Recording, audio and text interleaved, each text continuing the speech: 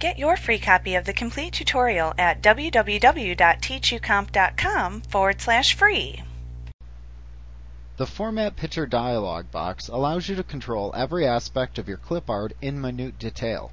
You can access this dialog box by clicking Format, rolling down to Picture at the bottom of the menu, and giving that command a click. Notice that this dialog box has six tabs at the top Colors and Lines, Size, Layout, Picture, Text Box, and Web.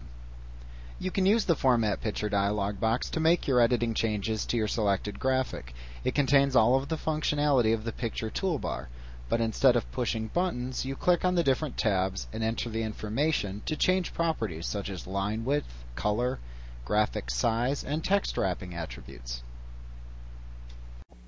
Like what you see? Pick up your free copy of the complete tutorial at www.teachucomp.com forward slash free.